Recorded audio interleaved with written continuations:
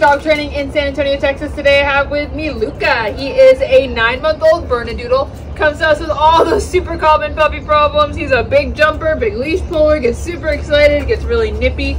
He's a counter surfer, trash digger. He loves to get into everything he's not supposed to.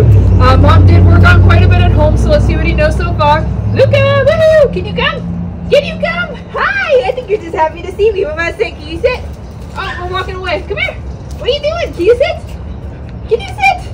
Oh, you sat on my feet. Okay, what about a down? Can you down? We can give kisses. So sweet. What about a down?